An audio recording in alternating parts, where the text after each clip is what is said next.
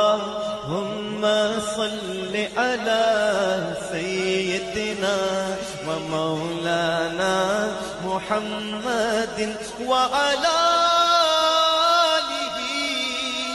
السلام علیکم حسن بھائی کیا حال ہے؟ جی ٹھیک ٹھاک ہو؟ ہاں جی اللہ پاک دا کرم ہے وعلیکم السلام سر تھی سناؤ۔ ਹਸਨ ਭਾਈ ਇਹ ਮਜ਼ਦਾ 4600 ਤੁਸੀਂ ਤਿਆਰ ਕੀਤੀ ਹੈ ਇਹ ਗੱਡੀ ਦੇ ਬਾਰੇ ਚ ਥੋੜਾ ਸਾਨੂੰ ਦੱਸੋ ਇਹਦੀ ਕਾਪੀ ਕਿਹੜੀ ਹੈ ਫੌਜੀ ਫਰੇਮ ਹੈ ਜੈਨੂਨ ਹੈ ਬਾਈ ਇਹ ਫੌਜੀ ਫਰੇਮ ਹੈ 17 ਮਾਡਲ ਕਾਰਗੋ ਦੇ ਨੂੰ ਕਾਗਜ਼ ਲਾਏ ਨੇ ਅਸੀਂ। ਅੱਛਾ। 20 ਫੁੱਟੀ ਇਹਦੀ ਬਾਡੀ ਹੈ ਪਿੱਛੇ। ਅੱਛਾ ਇਹਦੇ ਚ ਇੰਜਨ ਫਰੇਮ ਹੈ ਜੀ।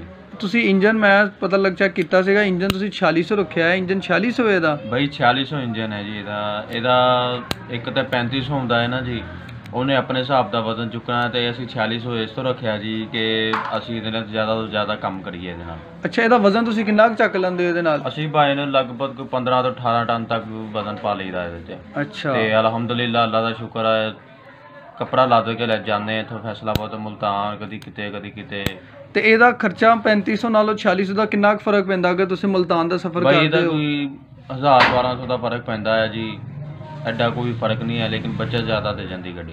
ਅੱਛਾ। ਕੰਮ ਜ਼ਿਆਦਾ ਲੈਂਦੇ ਅਸੀਂ ਗੱਡੀ ਅੱਛੀ ਹੈ ਜੀ ਮੈਂ 46 ਸੌ। ਬਾਡੀ ਦੇਖੀ ਹੈ ਬਾਡੀ ਮਾਸ਼ਾਅੱਲਾ ਤੁਸੀਂ ਮੇਰਾ ਖਿਆਲ 20 ਫੁੱਟੀ ਬਾਡੀ ਰੱਖੀ ਹੋਈ ਹੈ। ਬਾਡੀ ਮਤਲਬ ਕਿਉਂ ਇੰਨੀ ਵੱਡੀ ਤੁਸੀਂ ਰੱਖੀ ਹੋਈ ਹੈ? ਬਾਈ 20 ਫੁੱਟੀ ਬਾਡੀ ਇਸ ਤੋਂ ਰੱਖੀ ਹੈ ਜੀ ਕਿ ਜ਼ਿਆਦਾ ਤੋਂ ਜ਼ਿਆਦਾ ਅਸੀਂ ਮਾਲ ਲੋਡ ਕਰੀਏ।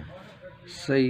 ਠੀਕ ਅੱਛਾ ਹੈ ਤੇ ਜੀ। ਟਾਇਰਾਂ ਦਾ ਕੀ ਸਾਈਜ਼ ਹੈ? ਟਾਇਰ ਵਗੈਰਾ ਤੁਸੀਂ ਪਿਛਲੇ ਬਾਈ ਅਸੀਂ ਅਹ, 35 3500 ਚ ਪੈਂਦੇ ਜੀ ਸਾਰੇ ਛਿੱਕਾ ਛਿੱਕਾ ਟਾਇਰਾਂ ਟੀ 8 5 16 ਦਾ। ਹਾਂ ਬਿਲਕੁਲ ਜੀ। ਅਸੀਂ ਇਹਦੇ ਤੇ ਪਿਛਲੇ ਟਾਇਰ ਜਿਹੜੇ ਪਵਾਏ ਨੇ ਜੀ ਉਹ ਆਪਣਾ 8 5 20 ਦੇ ਪਵਾਏ ਆ ਤੇ ਅਗਲੇ 8 5 16 ਦੇ ਪਵਾਏ ਨੇ। ਅੱਛਾ ਤੇ ਫਰੇਮ ਇਹਦਾ ਫਰੇਮ ਇਹਦਾ 11 ਕੁ ਇੰਚ ਜੀ ਹੁੰਦਾ ਵਾ ਫੌਜੀ ਫਰੇਮ ਇਹਦਾ। ਹਮ, ਅੱਛਾ ਫਰੇਮ ਹੈ ਇਹਦਾ। ਫੌਜੀ ਫਰੇਮ ਜਿੰਨਾ ਮਰਜ਼ੀ ਵਜ਼ਨ ਪਾ ਦਿਓ ਕੁਛ ਨਹੀਂ ਕਹਿੰਦੀ ਇਹਨੂੰ ਤੁਸੀਂ ਪਹਾੜਾਂ ਤੇ ਵੀ ਚੜਾ ਲਓ ਇਹਨੇ ਖੁਸ਼ੀ ਖੁਸ਼ੀ ਜਾਣਾ ਹੈ ਜੀ। ਤੇ ਹਸਨ ਭਾਈ ਇਹਦੇ ਫਰੇਮ ਜਿਹੜਾ ਮਜ਼ਦਾ 4600 ਤੁਸੀਂ ਇੰਜਨ ਰੱਖਿਆ ਵਾ ਇਹਦਾ ਆਪਣਾ ਤੁਹਾਨੂੰ ਸਮਾਨ ਸਮੂਨ ਸਪੇਅਰ ਪਾਰਟ ਲੱਭ ਜਾਂਦਾ ਵਾ?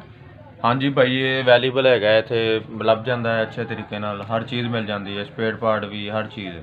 ਸਹੀ ਹੋ ਗਿਆ। ਗੱਡੀ ਦੇ ਹਸਨ ਭਾਈ ਇਹਦੇ ਤੁਸੀਂ ਅਗਰ ਮੁਲਤਾਨ ਦਾ ਫੇਰਾ ਲਾਉਂਦੇ ਹੋ ਤਾਂ ਤੁਹਾਨੂੰ ਕਿੰਨੀ ਕੁ ਬਚਤ ਆ ਜਾਂਦੀ ਆਉਣ ਜਾਣ 'ਚ?